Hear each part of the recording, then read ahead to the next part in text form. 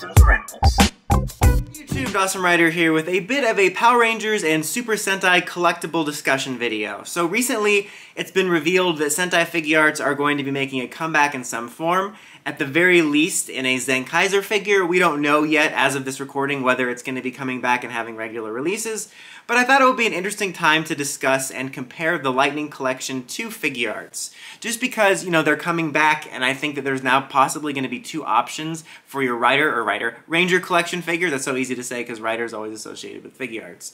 And I think it's interesting because back when Figuarts were out uh, for Sentai and they were more of a regular thing, we didn't have another sort of comparable main line. I don't think Legacy ever crossed paths with it. It was basically just your basic Bandai figures. And now I think it would be interesting to compare and contrast the pros and cons of both. For this video, obviously I'm going to be comparing the pros and cons of the ones that exist because we don't know how exactly the new ones are going to look, but I'm going to speculate on how they might look and which ones I prefer overall.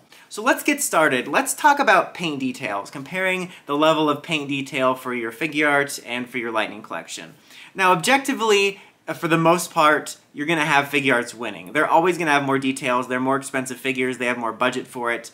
You know, not setting aside accuracy and proportions and all that stuff, Figuarts is always going to have more detail. You're not going to have missing details. You're likely to more have, like, maybe if they have, like, a siren on their helmet, like compound parts. It's just going to be generally more detailed. Probably also a lot less paint mistakes and QC issues because of the price and quality. So they're going to win there objectively. Lightning Collection, overall, looking at their body of work, I don't think is bad as the entitled fans make it seem. The way people talk sometimes, you'd think that they were releasing the unpainted Bandai bike figures. Lightning Collection's problem more so is in its consistency with paint. When it comes to the QC issues and consistency amongst patterns. Like for me, there's certain details that might be missing, like they might omit a certain line here or a dot there that I think is pretty insignificant if I'm being honest. And if they're all missing that, some people will flip out.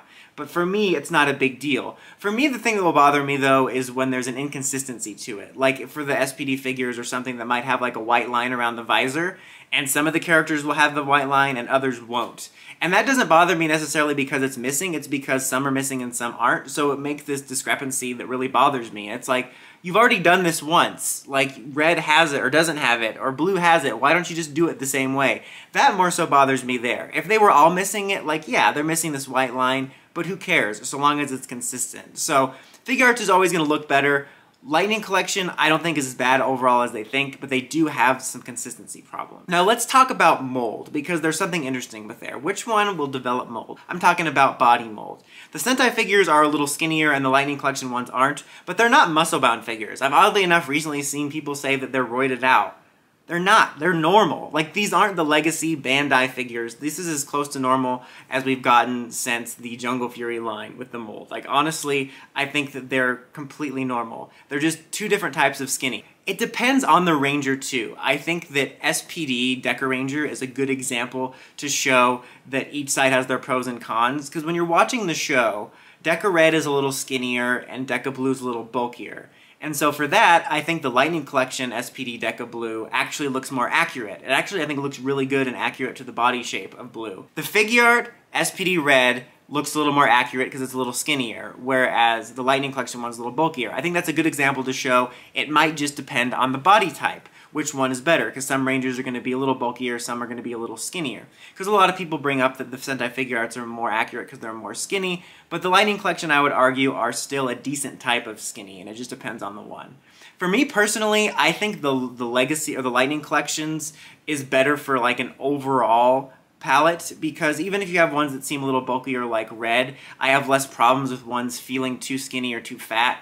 Meanwhile, for the Figuarts one, I think they're too skinny across the board, and you'll have too many that look off and almost too skinny. Again, I think Blue SPD is a perfect example. We're looking back on it now, comparing it to the Lightning one. It almost looks like a female Blue figure, which is great, because now it can be my Detective Song figure. But it looks too skinny for me, and it's too fragile, and it's too inaccurate. Now, when we get this new ones, though, there's a very good chance this will be updated and changed because since Sentai Figuarts had been extinct, they've been continuously improving Figuarts in terms of look. They've done renewals with the Rider ones, so you'll get updated ones that look more accurate proportionately. So I'm 90% certain that whatever we get to, whether it's new figures or redo redos of old ones, that the proportions will look better. So I don't think that's going to be something we're going to have to worry about as much now. But back then, I think that the Figuarts are put on a little bit of a pedestal, and honestly, the proportions don't hold up across the board, and there's far too many that look too skinny.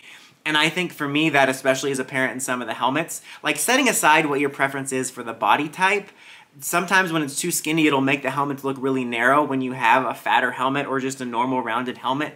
And I think that skinniness bled into the helmets. So I would say for me, in terms of proportions, I prefer the Lightning Collection. Now, in terms of articulation mold, the uh, Figuarts are a little bit more articulated. You know, the Lightning Collection is pretty decent, but in general, Figuarts are always more articulated. Now, something I wanted to talk about too, lastly, in regards to body, is durability. Now, this kind of comes into play of a similar thought I had about my personal collection for Star Wars stuff and Marvel stuff, is that the Figuarts almost always, as mentioned, are going to be more detailed and look better in a lot of ways. And you're going to have less paint, less detail, some lesser aspects than the Lightning Collection.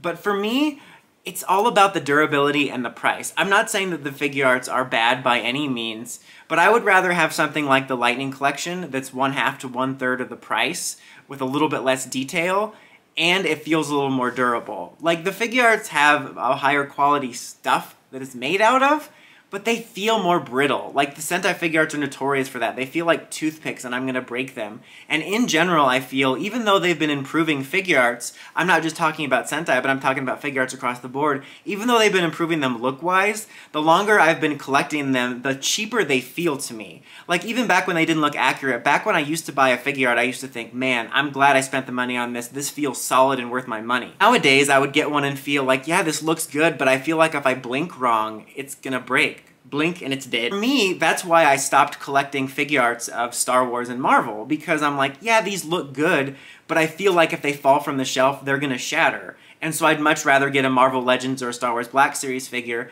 that's like 80 to 85% of the way there look-wise, and even if it's a cheaper plastic, it's much more durable. And not to mention, for the price of one Figuart, I can buy multiple figures of that. So I think that's something to be thought about there. Is for me, the Lightning Collection feels a lot more durable than Figuarts. Again, they could very much so make improvements on this for the renewal version of Sentai figures, and I hope they feel more durable. But I'm expecting them to look better and be better proportionate, but maybe not feel as durable as I would like. I think another avenue to consider, again, speaking of that, is price. I, I talked about that a little bit, but Figuarts are always going to be more expensive, which just in general is going to be more expensive, but also more expensive in terms of building teams. You know, that's something to consider. There's, I'll get into the fact that there's probably going to be figures for Figuarts and for Lightning Collection you won't be able to get on the other side. But just in terms of one you already have, you know, I don't know how much they're going to end up costing, but it can be two to three times the amount of a Lightning Collection figure. And if you're going to want to build a full team, that's something to think about. I think, again, for me, the Lightning Collection wins there because I'm able to build a full team for cheaper and easier accessibility. That's another thing to think about is accessibility. You know, Figuart, both of them will have exclusives. I think the Figuarts might be more straightforward on how to do that, but the, the Lightning Collection has had a lot bigger of a variety faster and an easier way to get a lot more variety, both in terms of like individual season teams and then more teams overall. Just to take a brief detour now, uh, accessories, like versus which one is better with accessories? I think if you're looking back at what we've already gotten in terms of Sentai Figuarts and Lightning Collection, uh, I would say that Figuarts wins, just because usually the Figuarts ones, they're more detailed.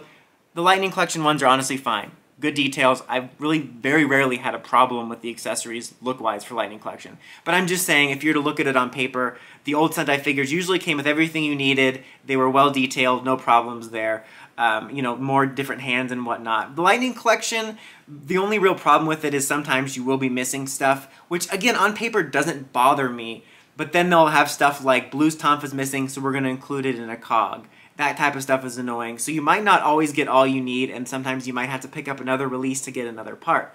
That being said, in recent years with Rider, Uh, they've become notorious for not including certain weapons and things that you would normally think would come with the figure, and you have to buy something else to get it.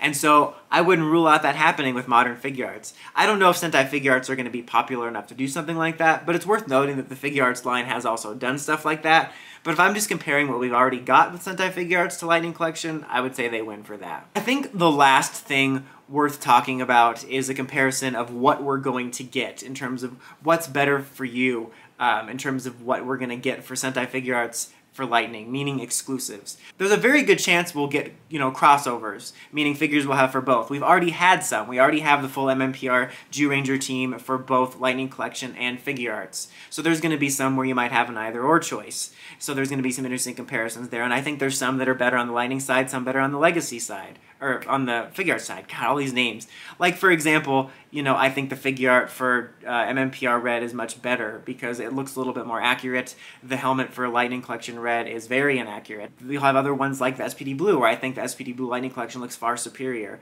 So you are going to have some stuff like that. However, something to consider is with Sentai Figuarts, we'll likely get Sentai figures that we'll never get in the Lightning Collection, of teams that will either never adapt because we skip over them completely. If we stop adaptions, then that'll be the case too. So stuff like ToQger, Kyuranger, Zenkaiger, um, as of right now, aren't on the horizon for being adapted. And if those never get adapted, we'll probably only be able to get those Figuarts in Sentai form. Same thing with a lot of pre-Zyu teams. There are some pre-Zyu teams that we used for new powers, and I would not rule us out um, ever getting those for Lightning Collection. You know, they have done some niche, niche things with that line, so I'm not going to rule out something like Squadron or whatever making it into the Lightning Collection at some point, because we've also started to utilize them in the comics. But there are some pre-Zyu teams like Jetman and uh, Liveman, which we never used in Power Rangers so far. So that's going to be your only way to get those. Likewise, on the other side, for Lightning Collection, we're probably never going to get Figuart Spirit Rangers or Omega Rangers or Ranger Sentries or Titanium Rangers. So you're going to have exclusive on both sides, which I think is the benefit of wanting to collect both.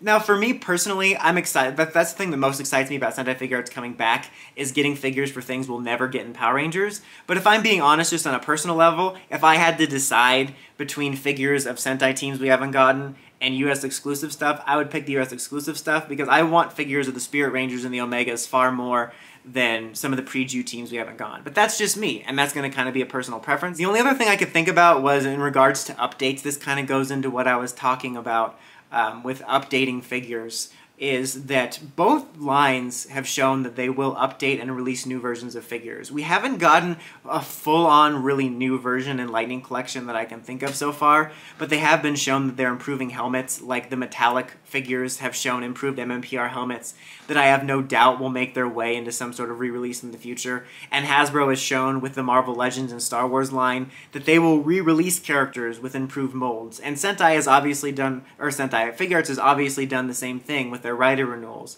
And it's worth considering that, that it will be much cheaper for Lightning Collection. Like if they release an updated, better version of MMPR Red, that's only going to be 20 bucks rather than 60 plus dollars, and I thought that was worth noting. That is it for my discussion video. I just thought it was interesting to compare and contrast the pros and cons of both lines. Like I said, I do like the Sentai Figuarts, and I am excited for them to come back to see updates and possible figures you never got before, but if I'm being honest, I just prefer the Lightning Collection a little bit overall. It's a little bit more cost effective. Yeah, it'll have its problems and growing pains, but we're getting a bigger variety, and it's easier to get a bigger variety for a cheaper price. But I want to know what you guys think. Which one do you prefer, Lightning Collection or Figuarts? What are you more excited about collecting in the future? Sentai exclusive forms or Power Rangers exclusive forms that will likely only be available in Figuarts or Lightning Collection respectively? Let me know in the comments. As always, until next time, like, comment, subscribe, and climb the steps and ring that bell so you get notifications for my videos. DosmRider, signing out.